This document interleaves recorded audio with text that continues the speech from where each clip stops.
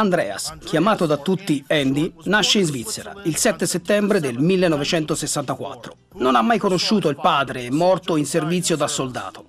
Andy fu portato in un orfanotrofio dove visse fino a tre anni. Poi, mossi da compassione, furono i nonni a prendersi cura di lui. Da ragazzino subisce bullismo e quindi decide di fare qualcosa per rafforzare il suo carattere. Così, a dieci anni, entra in una scuola di karate, ispirato dal suo personaggio preferito, il suo eroe, Rocky Balboa. Entrò sul tatami per non abbandonarlo mai più.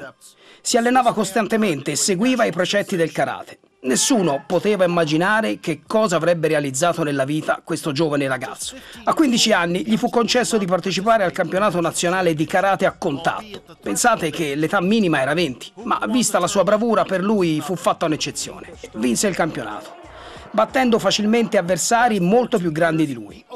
A 17 anni Andy aprì così la sua prima palestra. Iniziò a combattere a livello europeo sfoggiando un calcio del karate che letteralmente condannava i suoi avversari, un onogeri, oppure detto calcio ad ascia.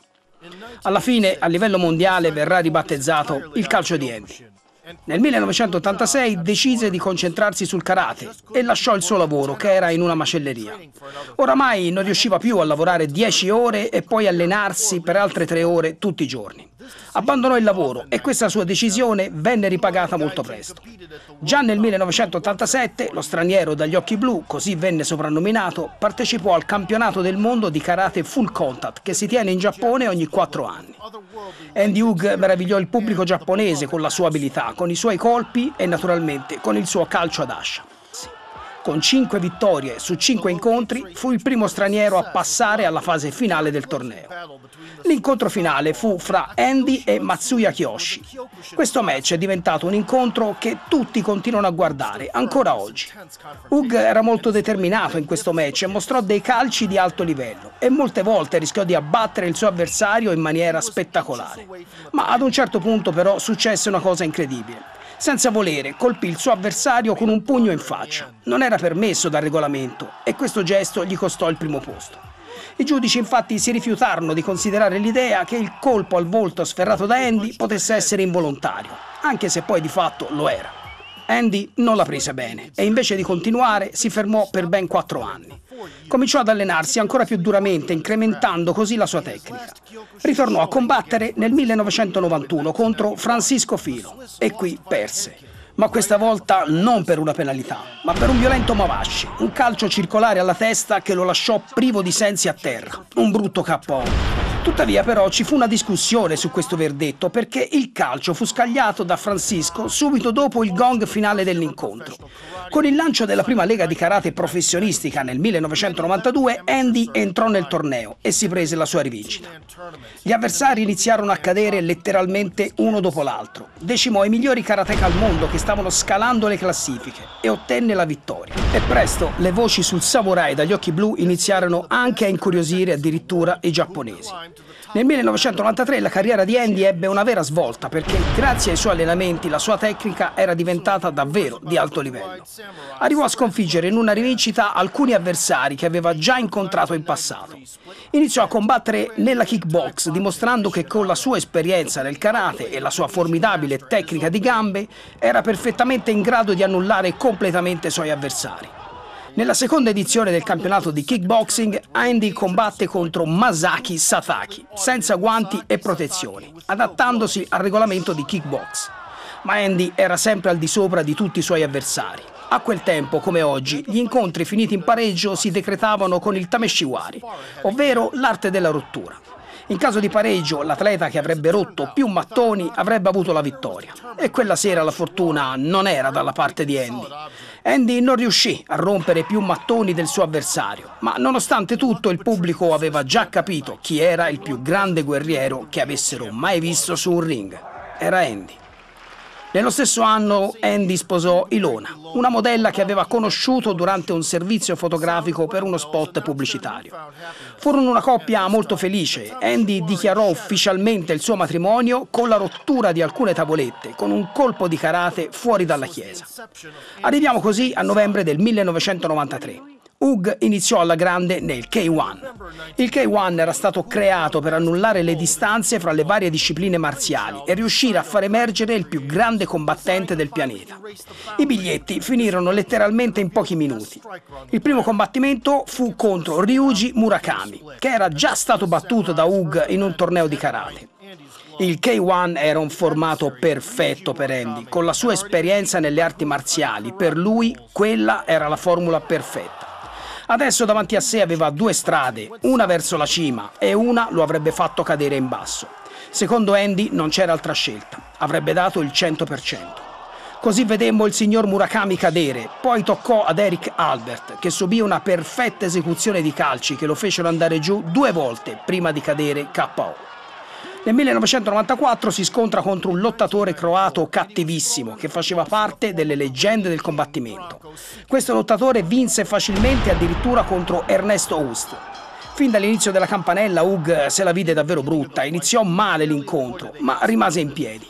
Poi Hug iniziò piano piano a far venire fuori il karateka che era in lui ed il croato ad un certo punto non sapeva più come contenere i colpi dello svizzero. Bronco, così si chiamava questo lottatore, riprese indietro tutti i colpi che aveva piazzato fin dall'inizio del combattimento e se li riprese indietro con gli interessi. Una perfetta combinazione di calci che lo prendevano sempre in pieno, pugni veloci come fulmini. Queste tecniche diedero a Hug una vittoria sfolgorante. Verso la fine dell'incontro Bronco non sapeva letteralmente più come sopravvivere e si aggrappava continuamente a Hug. Era l'unico modo per fermarlo. Un Andy così devastante e tecnico allo stesso tempo non passò inosservato.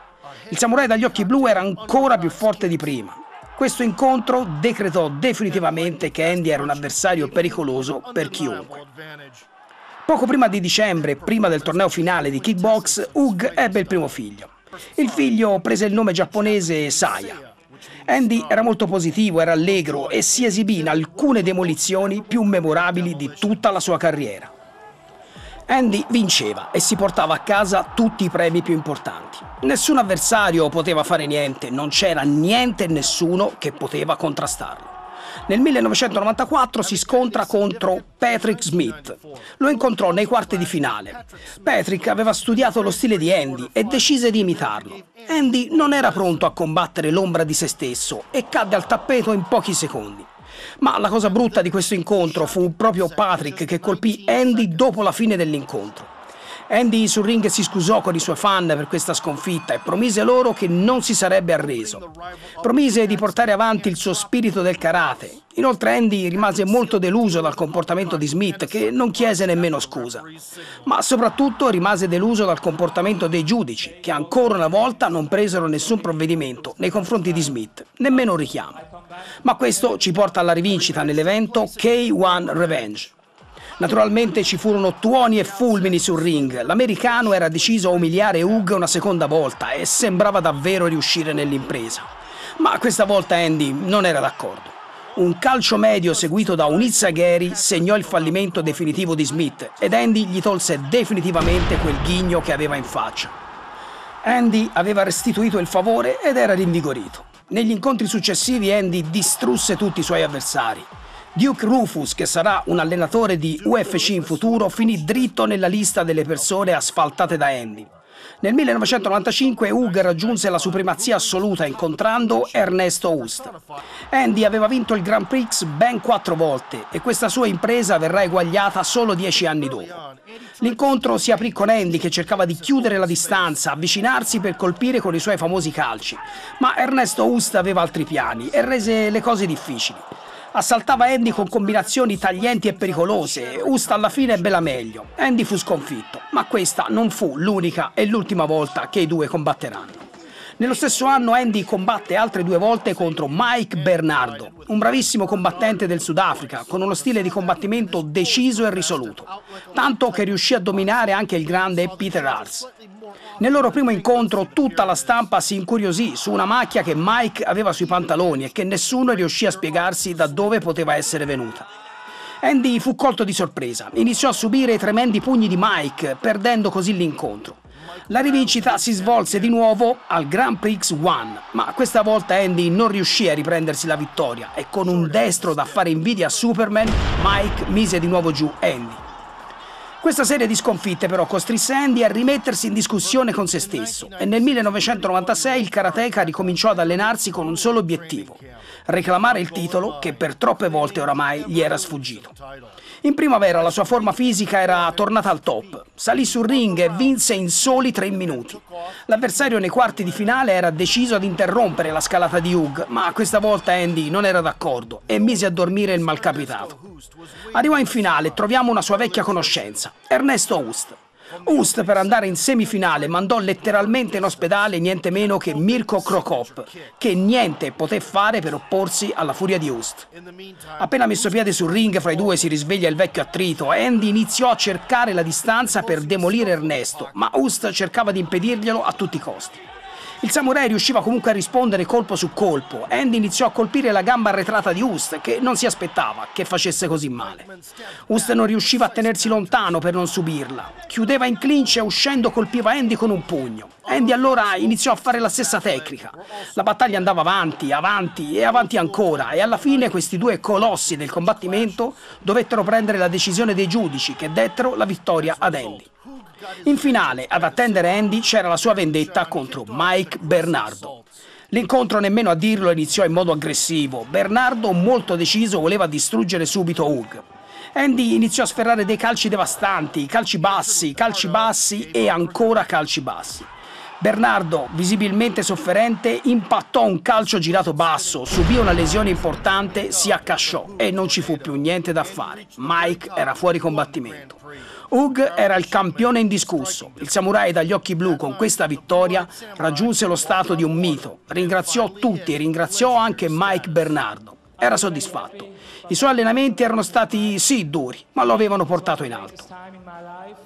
Arriviamo al 1996 e troviamo un Andy Hug pronto a mettersi in gioco. Sfidò così Stan Longinidis per la cintura del titolo nel settore Thai Box. Naturalmente fu come al solito un vero e proprio festival di calci spettacolari e alla fine fu proprio un tremendo Mawashi insieme a un sinistro supersonico ad interrompere tutti i sogni di gloria di Stan. Dopo aver subito tutti questi colpi, anche Stan entrò nella collezione dei demoliti da Hug. Andy aveva un regalo anche per Masaki, un incontro con regolamento kickbox. In questo incontro non ci furono dubbi. Andy dimostrò una serie di ottime sequenze di box, ma poi lo spirito di Van Damme si impossessò di Andy. Iniziò così a dare spettacolo con i suoi calci, mandando la folla in delirio. Di nuovo un calcio girato basso fece crollare letteralmente Masaki, che fu battuto in modo spettacolare. E così Andy portò a casa anche questo risultato. Lo stesso destino attendeva un giovane atleta giapponese, Musashi. Musashi sarà poi in futuro una futura icona della kickbox giapponese, ma quella sera con Andy sembrava solo un manichino da allenamento. Collezionò una serie di colpi raramente visti sul ring ed Andy invece collezionò un'altra vittoria tecnica, finendo così in bellezza il 1996.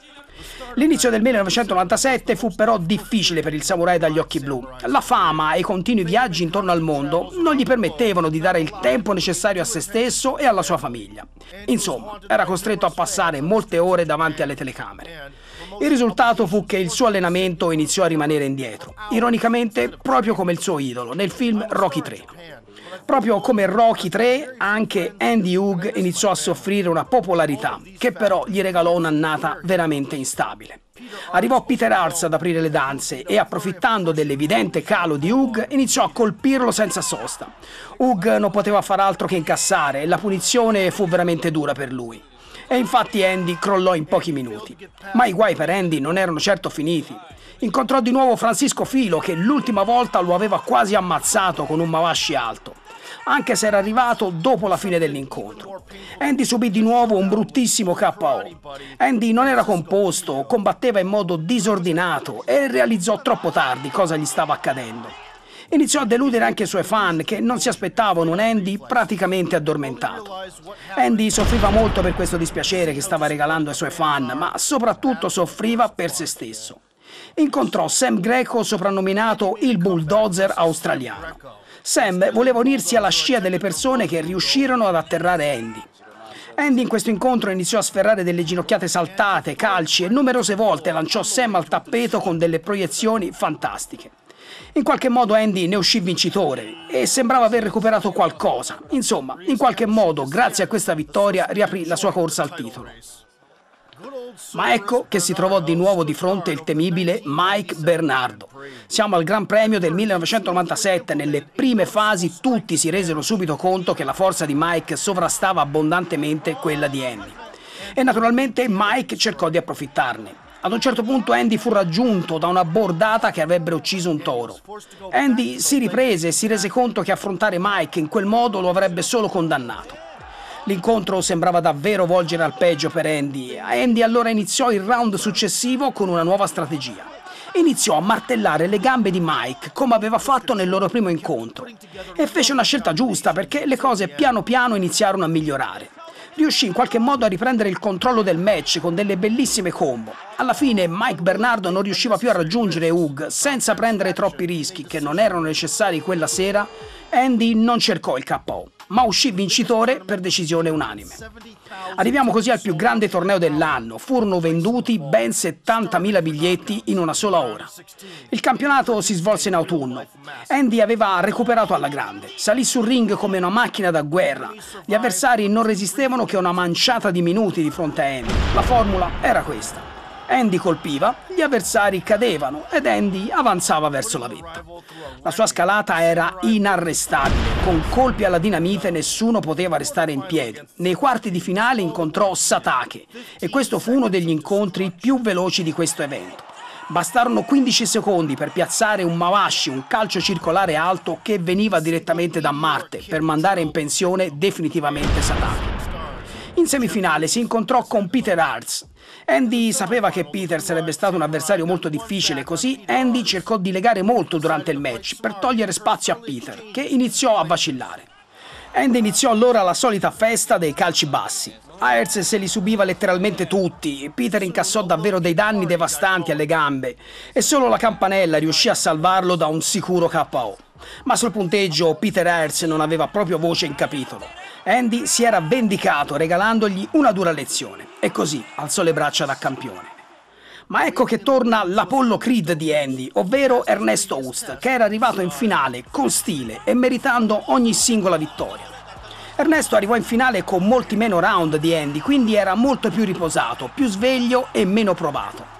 Andy invece purtroppo arrivò in finale con un piccolo infortunio alla gamba e non riusciva a combinare calci come era solito fare.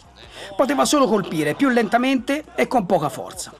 Ernesto se ne accorse e iniziò subito a sferrare dei colpi micidiali. I round diventarono un delirio da superare per Hug, tempestato letteralmente da Host, ma Andy si rifiutava di andare giù. Andy ad un certo punto si svegliò e il suo spirito di karateka venne di nuovo fuori. Iniziò a pressare, a colpire e tornarono anche i suoi meravigliosi calci, ma il tempo era scaduto. Andy si era svegliato, è vero, ma troppo tardi e l'occasione di vittoria non era più alla sua portata. Quindi nel 1997 uscì dal ring sconfitto, ad un passo dal titolo. La lunga permanenza di quattro anni del K1 non era uno scherzo, il K1 era pieno di squali assetati di sangue, lottatori molto pericolosi, e arrivò il momento per Andy di chiudere questo capitolo.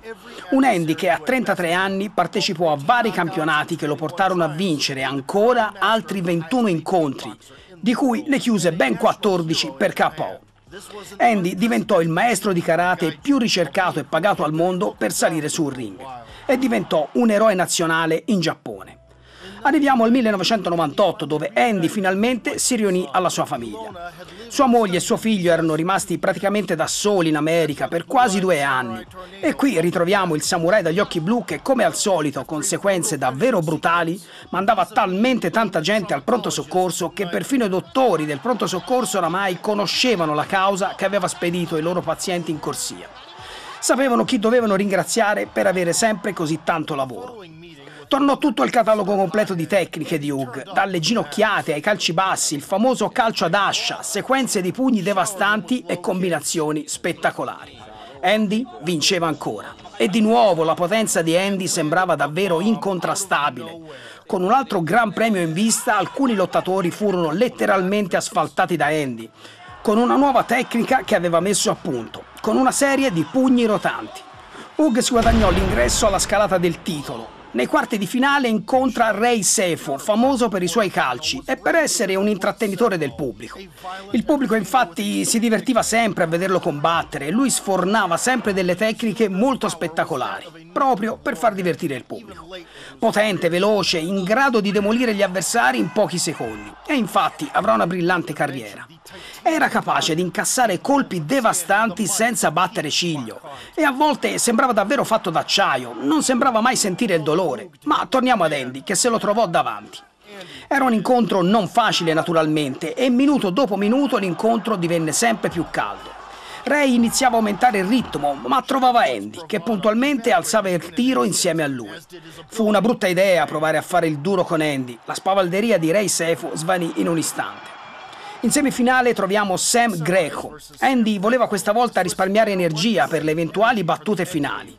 Per fare questo impostò il combattimento dalla lunga distanza, evitando di stancarsi troppo, e tornarono anche i pugni ruotati che gli avevano risolto molti incontri.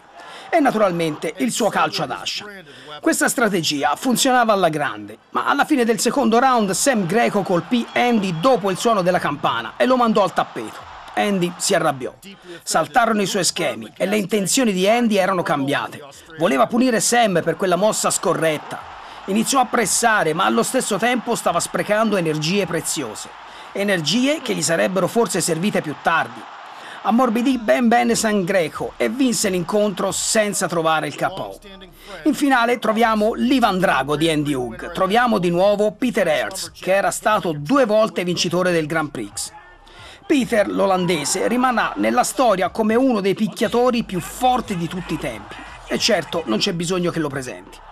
Hug non poteva evitare di provare su di sé la potenza di Arz, che reclamava vendetta dopo la sua ultima sconfitta, e con un calcio alto che veniva direttamente dall'inferno mise fuori gioco Andy. Peter con questo incontro collezionò la sua terza vittoria nel Grand Prix, ma Andy non aveva intenzione di fermarsi dichiarò in un'intervista, un samurai non si arrenderebbe mai e vi garantisco che non lo farò nemmeno io. La sconfitta e le delusioni di Hugh lo portarono sul ring con un cambiamento di prim'ordine, ovvero si tagliò i suoi baffi. Nel 1999 torna a combattere e si scontra di nuovo con Ray Sefo. Andy lo riempie di calci bassi e poi riuscì a chiuderlo all'angolo e con alcune potenti tecniche di gamba tolse il sorriso a Ray che andò giù. Hug così con questa vittoria non deluse il suo pubblico. Incontrò due grandi lottatori giapponesi che però vennero mandati in pensione prima del tempo a suon di calci girati. Quindi abbiamo un Andy di nuovo in pista, di nuovo un pericolo e di nuovo deciso ad andare lontano. L'avversario che probabilmente gli dette più problemi fu Stefan Lecho, un avversario, manco a dirlo, forte e pericoloso. Stefan iniziò a martellare Andy fin dall'inizio, ma non era lui il predestinato che avrebbe potuto piegare il samurai dagli occhi blu.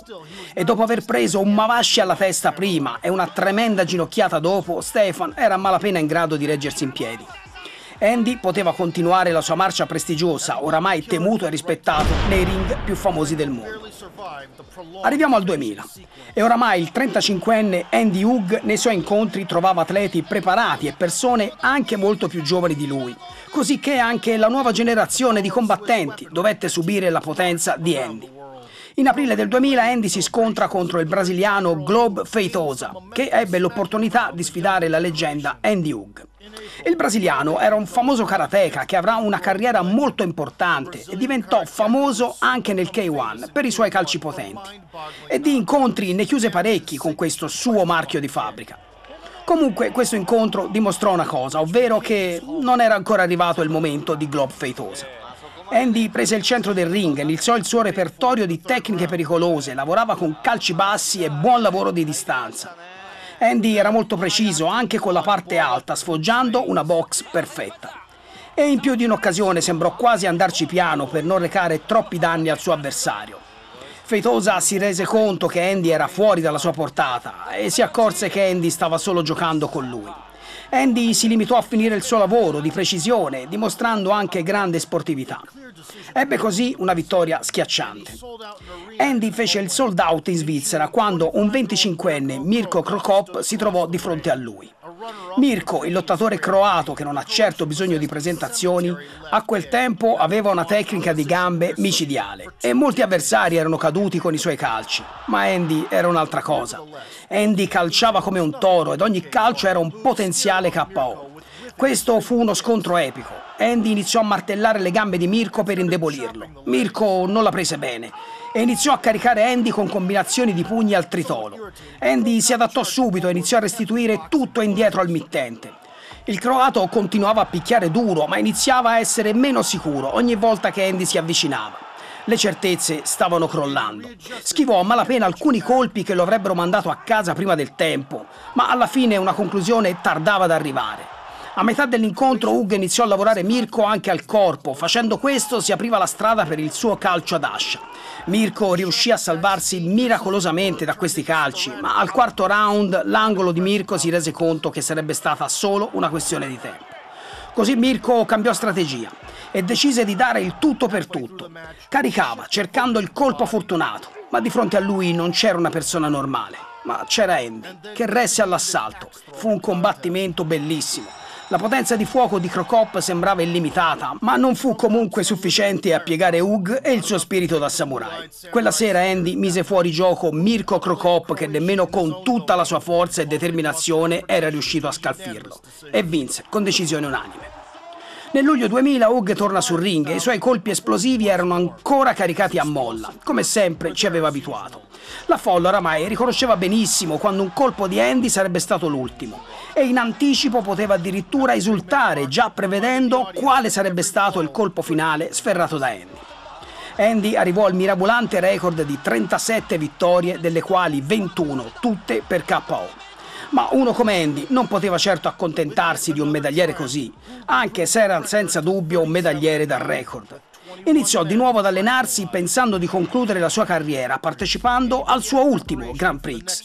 E lo voleva fare alla grande, lo voleva proprio vincere. La sconfitta per Andy non era contemplata. Ma purtroppo i suoi piani non sarebbero mai stati realizzati. Durante uno dei suoi ritorni a casa, Hug ebbe un attacco di febbre a 40 e durante la notte perse molto sangue dal naso. Andò in ospedale, ma i dottori lo rassicurarono. Non era niente. Ad agosto però Andy andò in Giappone e i dottori giapponesi gli diagnosticarono una forma grave di leucemia. Non c'era tempo da perdere. Andy era veramente in serio pericolo di vita. E il 22 agosto Hug scrisse una lettera ai suoi fan. Credo che rimarrete scioccati quando sentirete la notizia della mia salute. Questa malattia è l'avversario più forte che abbia mai affrontato, ma vincerò. Diventerò più forte. Grazie al vostro sostegno combatterò come se fossi sul ring e batterò questo terribile avversario. Tornerò di nuovo fra voi un giorno, non perdete la speranza. Grazie a tutti voi. Andy Hug. Questo messaggio purtroppo però si rivelò un addio. Dopo soli due giorni Andy cadde in coma e il 24 agosto il suo cuore si fermò. L'ospedale tentò in tutto e per tutto di impedire alla morte di prendere Andy e per ben tre volte i dottori riuscirono a far tornare il cuore di Andy, per ben tre volte. Ma alla quarta volta lo lasciarono andare. Andy aveva solo 35 anni. Al suo funerale in Giappone parteciparono 13.000 persone, c'erano i suoi fan, c'erano tutti i compagni di ring ed era presente anche il presidente della Svizzera. L'annunciatore dal ring chiamò il nome di Andy per l'ultima volta e il sipario si chiuse. Soltanto pochi combattenti diventano leggende, ma Andy Hug rimarrà per sempre nei cuori di tutti i praticanti di arti marziali. Un vero samurai, un vero guerriero senza paura. È arrivato in cima, è caduto, si è rialzato, è andato avanti, ha dimostrato coraggio, onore e determinazione. Andy ha fatto breccia nei cuori di tutte le persone che lo hanno conosciuto. Andy ha dato tanto alla sua arte marziale che amava e tutto questo rimarrà scolpito nella pietra per sempre. Riposa in pace, samurai dagli occhi blu.